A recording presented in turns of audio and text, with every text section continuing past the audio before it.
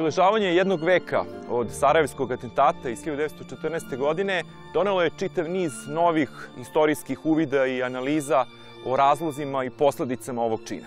Međutim, sada je pred nama romaneskno obličenje ovog događaja u knjizi Svetislava Basare Anđeo atentata.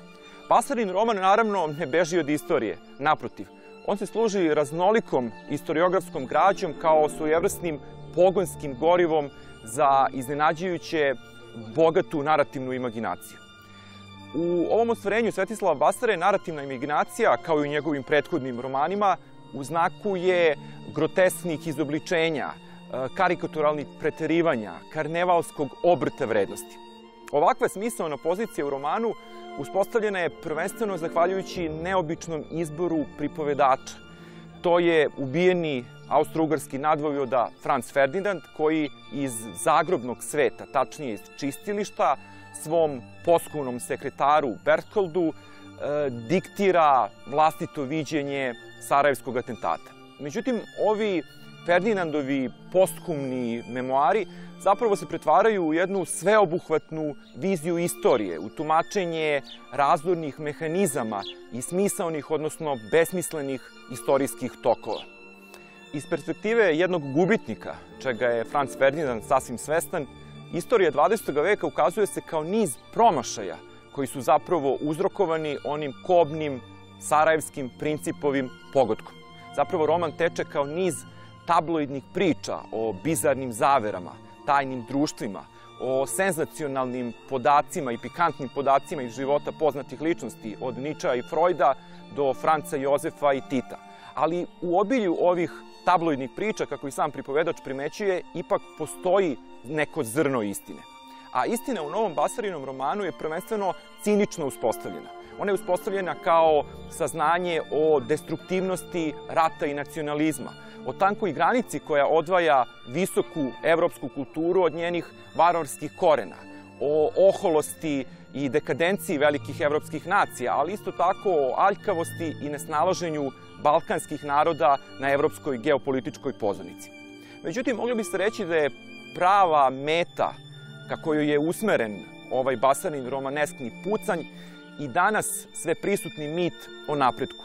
Zbog toga nije slučajno što ovaj basani roman kao svoj moto uzima citat iz poznate analize slike Paula Klea Angeus Novus, koju je 30. godina napisao Walter Benjamin. Prema Benjaminovoj analizi te Kleove slike, s jedne strane imamo istoriju kao jedno veliko smetlište, đubrište koje zapravo raste do neba, a sa druge strane duva razoran vetar, razorna oluja koju obično i pomalo cinično nazivamo napretkom. Za razliku od Basarinih prethodnih, nedavno objavljenih romana koji su bili izraz autorove smišljene hiperprodukcije, ovaj novi roman, Anđeo Atetata, svakako predstavlja izuzetno romaneskno ostvarenje. To je zapravo fama, ili bolje rečeno, postmoderni tabloid o istoriji i njenom pogubnom dejstvu na svet u kome danas živimo.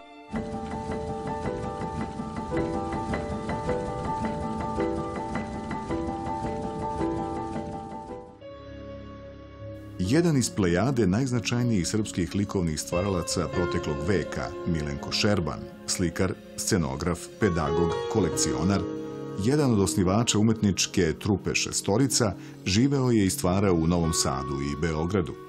Legat Milenka Šerbana, jedan od osam o kojima se stara Beogradska kuća legata, protekle nedelje u galerijskom prostoru u Knez Mihajlovoj ulici prvi put je u celosti predstavljen javnosti. Legat Milenka Šerpena je jedan od prvih legata koje je naša ustanova dobila na poklon i to 2006. godine od umetnikove supruge Sonje i čerke Nade. Legat Milenka Šerbena spaja njegovu slikarsku, scenografsku i kolekcionarsku delatnost i ukazuje nam na njegov značaj u srpskoj modernoj umetnosti 20. veka. Ovaj kompleksan legat, koji objedinjuje 62 predmeta, pruža izvanredan uvid u raznovrsnost Šerbanovih delatnosti. Specifičan je po tome što osim njegovih slika, crteža i scenografskih skica, obuhvata i 18 slika, crteža i vajarskih dela njegovih prijatelja i savremenika, kao i predmete primenjene umetnosti koji svedoče o Šerbanovoj kolekcionarskoj delatnosti i ličnom ukusu. U legatu su zastupljena Šerbanova dela od 1929. do 78. godine, tako da možemo pratiti skoro sve razvojne faze ovog umetnika. Tu su neka od najranijih dela, kao ležeći jak sa crvenom pozadinom iz 29. godine, koju radi u ateljevu Andre Lota. Međutim, posle se on oslobađa e, uticaj Andre Lota i stvara sobstveni izraz i ono što je karakteristično jeste taj ekspresionistički kolorizam prisutan na njegovim delima. To su dela uglavnom vezana za 30. godine. E, on tada stvara zajedno sa Ivanom Tabakovićem i Petrem Dobrovićem e, na obroncima Fruške gore. E, kasnije on stišava malo taj bojeni akord i njegova dela možemo okarakterisati kao intimistička, sa izrazito lirskim raspoloženjima, ponekad malo i melankoličnim. E sad, e, posle toga, negde 66. godine, ponovo se vraća Boji i tada, e, s obzirom da mu to njegovo umetničko iskustvo daje veliku slobodu, on stvara dela koje gotovo zalaze u područje abstraktnog. Šerban je krajem 20. godina proteklog veka slikarstvo učio u Parizu, u ateljeu čuvenog Andrea Lota, gde upoznaje i brojne umetnike iz naših prostora. O profesionalnoj i prijateljskoj mreži koja se tada uspostavlja svedoče dela koja su deo ovog legata. Petra Dobrovića, Krsta Hegedušića, Ivana Radovića, Petra Lubarde, Nedeljka Gvozdenovića, Marka Čelebonovića, Zore i Nadežde Petrović, Milivoja Nikolajevića, Peđe Milosavljevića, Stojana Aralice, Ivana Tabakovića, Mila Milunovića, Milana Konjovića, Sretena Stojanovića Mihajla Tomića.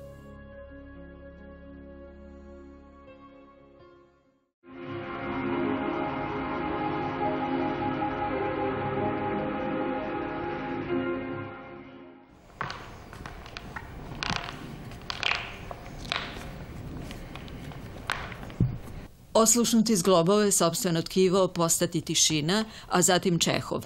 U predstavi Čehov je Tolstoju rekao zbogom na sceni Bitev teatra i sud gde ih pozovu.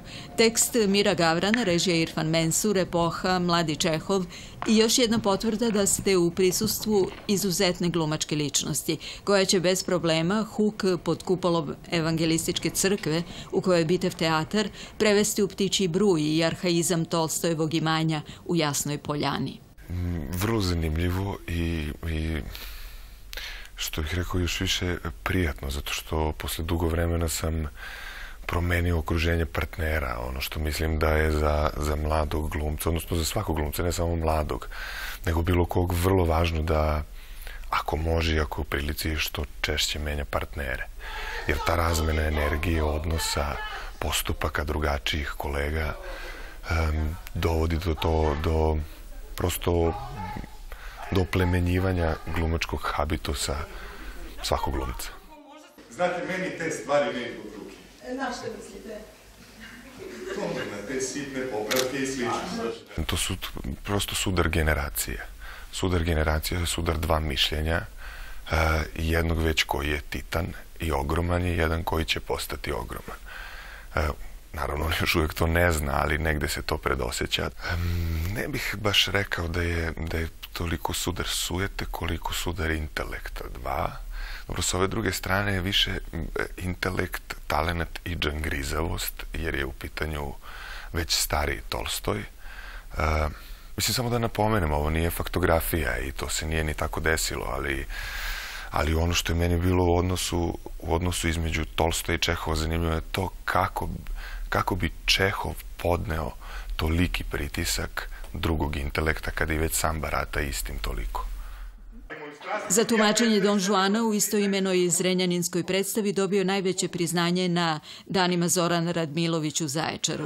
Na gostovanju u ateljeu 212 njegova bravuroznost podsjetila je na velike glumačke partije u istoriji beogradskih verzija Molijera. Jedan od najtalentovanijih iz klase Vlade Jeftovića, član pozorišta Toša Jovanović u Zrenjaninu, mogao bi biti stub svake beogradske podele. Ne razmišljam o tome šta bih volao da igram, zato što trenutno razmišljam samo o tome da, da bih voleo da igram. Jer mislim da u ovom trenutku na ovoj geografiji mlad glumac mora da se kloni nekih želja da ne bi sagore u istima. I uopšte ne, ne nalazim nikakvo m, opravdanje i zašto kolege ne prate. Jer sve što se dešava u Beogradu, dešava se u Beogradu i ništa izvan toga. To, to ne mogu da razumem. Njegovu posebnost za sada detaljnije uočavaju filmski reditelji. Za ulogu u Neposlušnima nagrađen je na Niškom festivalu, a Ralph Fiennes mu je poverio ulogu u svojoj režiji Koriolana.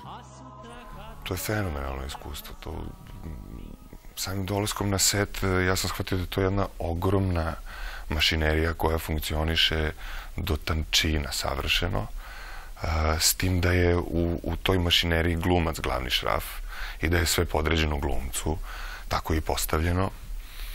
E, Fanjs je veliki profesionalac, Oskarovac, Mislim, manje više to, on je ozbiljan glumac. E, sa druge strane, mislim da je to čitanje njegovog Koriolana e, sasvim, sasvim korespondiralo sa ovim vremenom. I ta scena koju smo radili, bavili smo se njom ceo dan. Čovjek mi je posvetio vreme ja sam dao sve od sebe i to je ispalo sasvim zadovoljavajuće.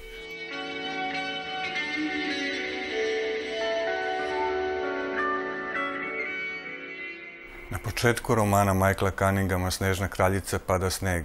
Ne sneg iz pripovetke Hansa Kristijana Andersena koje ovaj roman duguje naslov, već sneg čini mi se, i onaj iz Joyceove pripovetke Mrtvi. Sneg u kome glavni junak doživljava prosvetljenje, u kome mu se život otvara i e, prikazuje na jedan način na koji ga on dotad nije video i koje će od tog trenutka pa nadalje, mada ga neće učiniti srećnim, promeniti e, njegov život. To je ono što se događa glavnom junaku ovog romana na samom početku. E, romana koji svojim naslovom sugeriše bajku, ali koji pored toga što u jednoj svojoj dimenziji jeste bajka u mnogim svojim, u većini svojih aspekata jeste pre svega jedan uh, odličan, sjajan uh, realistički roman. Realistički roman o uh, dvojici glavnih junaka, to su dva brata, Jedan od njih, Beret, taj koji doživljava Epifaniju na početku, čovjek je koga je ostavio ljubavnik, čovjek je kome ništa ne ide dobro u životu i koji pokušava da nekako pronađe sebe u tim po njega sve gorim okolnostima.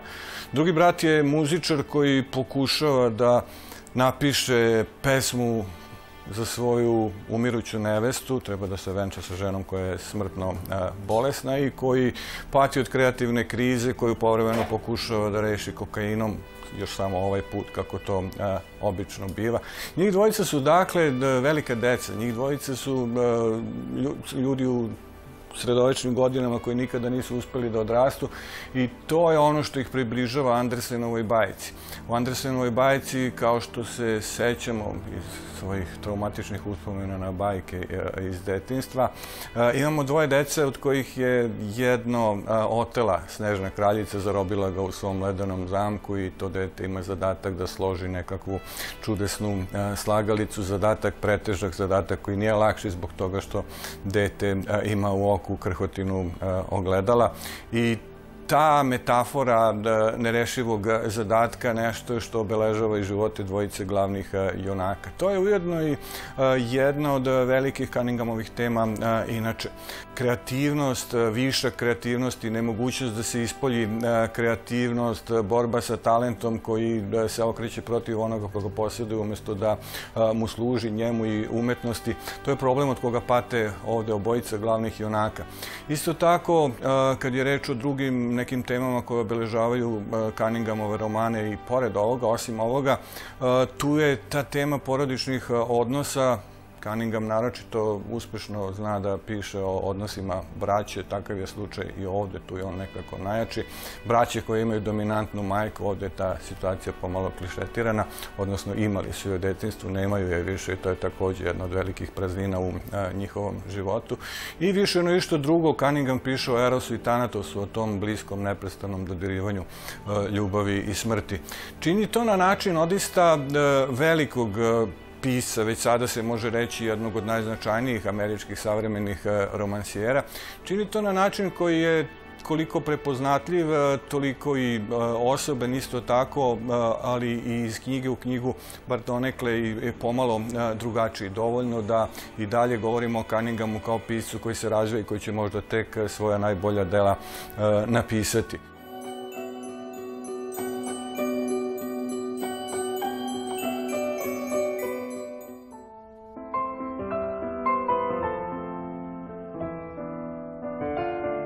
Šetnje Beogradskim ulicama su jedan od najposećenijih tradicionalnih događaja Beogradske internacionalne nedelje arhitekture. Bina šetnje predstavljaju stručna tematska vođenja zainteresovanih posetilaca kroz novo iskustvo percepcije grada.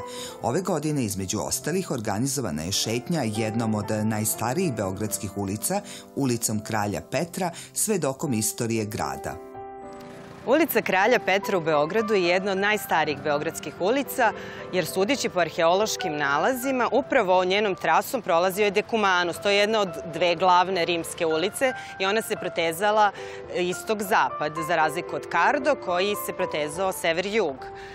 E, blizina reka Save i Dunava koje ova ulica spaja zapravo je opredelilo njenu sudbinu, blizina trgovačkih brodova koji su tu dolazili, karavani e, i u 18. veku podizanjem Bajrakli džamije počinje da se formira čaršija, podizanjem malih radnji, zanatskih i trgovačkih i to je zapravo zametak te trgovačke zone u ulici Kralja Petra.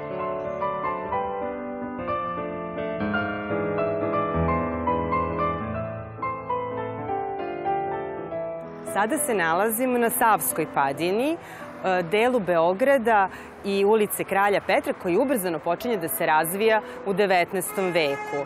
Slabljenjem otomanske vlasti i dobijanjem hatišerifa ovo postaje kulturno, prosvetno, religiozno i društveno središte Beograda. Sada smo tačno ispred konaka knjeginje Ljubice koju knez Miloš gradi da bi pokazao slobodu i e, društveni razvoj upravo ovog perioda. Ovo je kulturno dobro od izuzetnog značaja za Republiku Srbiju, a dijagonalno od nje je takođe jedno kulturno dobro od izuzetnog značaja za Republiku Srbiju, a to je Saborna crkva. Beograd s početka 19. veka ima 8.500 stanovnika. To vam je onako da, da zamislite koliki je to grad, a on se ubrzano širi. Već u 20. veku ima 70.000 i najveći broj stanovnika živi upravo u ovom kraju. Zbog toga je bilo potrebno da se izgradi i nova crkva i nova škola da primi sav taj narod koji je došao. Ulica Kralja Petra je gradska tačka gde se na najbolji način vidi smena različitih stilskih koncepcija svaka generacija, ali i različiti narodi koji su živeli u ovoj ulici i radili, ostavili su svoj trag, te mi danas, posmatrajući istoriju i arhitekturu ulice Kralja Petra, imamo jedan dobar pregled beogradske arhitekture od 19. veka pa do danas. Tu je i Narodna banka iz 1889. koju je podigao Konstantin Jovanović, koji je jedan odličan primer akademizma u arhitekturi i ona bi mogla kao palata da krasi bilo koju evropsku prestonicu. U ovoj ulici je jedan pravi arhitektonski biser, jedina čista secesija u Beogradu, a to je zgrada robnog magazina. A tu je naravno i prva moderna osnovna škola koja je projektovala prva žena arhitekta u Srbiji, to je škola kralja Petra I, a takođe i kafana Znak pitanja, jedna od najstarijih kafana, u stvari najstarija kafana u Beogradu. Bina šetnje, oživljavajući nataloženu istoriju u ciglama naših ulica i našem pogledu na grad daju potpuno novi smisao.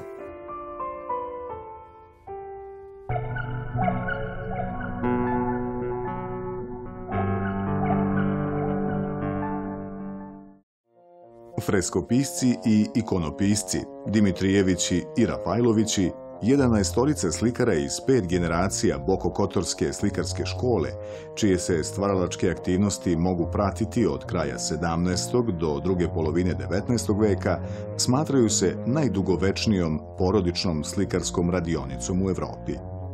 Njihov potomak, beogradski slikar Aleksandar Rafajlović, 2005. godine upustio se u istraživanje njihovog stvaralaštva – Tokom jedne decenije, obišavši oko 80 lokacija u Crnoj Gori, Srbiji, Hrvatskoj, Bosni i Hercegovini, identifikovao je 600 ikona, što je dokumentovao sa 13.000 fotografija. Cela izložba je u stvari jedna, jedna zajednička priča, jedna, ako mogu tako da kažem, telenovela brazilskog tipa. Moram da kažem, na telenovelu ličio, ličila i ta naša ekspedicija, sva ta potraga i za dozvolama, za ključevima crkava na terenu, hoće li biti, neće li biti, šta će se dogoditi, kako. E, i, ajde, kako mogu da kažem, to osjećanje negde, se, negde bi trebalo da se osjeti i na ovoj izložbi. To što sam ja ovde 12. i to što ja u, na izložbi postavljam i moju firmu, naravno za razliku od mojih predaka koji su se potpisivali ručno na ikonama, ja imam firmu umetnika iz 21. veka od uh, LED dioda. Izložbom 12. u galeriji Ulusa Rafajlović je objedinio istorijske činjenice sa likovnom interpretacijom predačkog lanca ostvarenom u ikonopisačkom maniru, čemu je pridružio vlastitu umetničku biografiju, počevši od prvih dečjih crteža preko mozaičkih fototabli pa do ličnog potpisa ostvarenog LED diodama. Prvo on ima tu osnovnu jeli, identitetsku priču prispitivanja samog sebe, svojih korena. Jeli. Taj talenat nikad ili redko kada dolazi baš nijotkuda. Jeli. Kod njega je to, to potpuno jasno.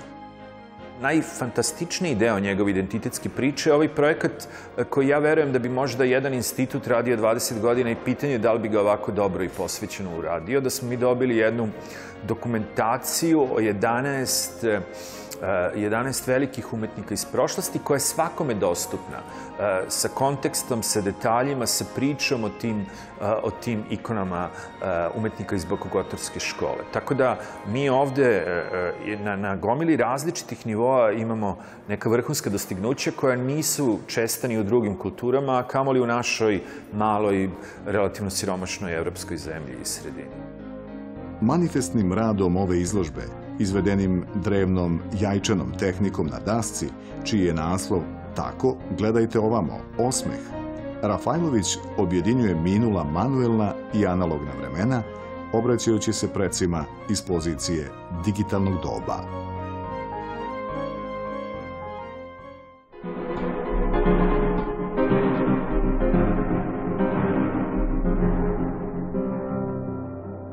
Edward Snowden, glavni junak dokumentarca Citizen 4, dosije Snowden, u jednom trenutku u toku filma hrabri svoje sagovornike i samog sebe rečima ovo nije SF. Međutim, gledaocu filma kojim rediteljka Laura Poitras završava svoju trilogiju o Americi nakon 11. septembra, lako se može učiniti da je dosije Snowden upravo naučno-fantastična distopija, iako su svi akteri i događaju u filmu stvarni. Cinema Verite stil, koji je ova rediteljka iz Berlina upotrebila i u prva dva poglavlja pomenute trilogije, budući imanentan dokumentarnom filmu zbog naglašavanja trenutnosti i neposrednog praćenja zbivanja, filmovima My Country, My Country i The daje kvalitet sveobuhvatne ratne reportaže.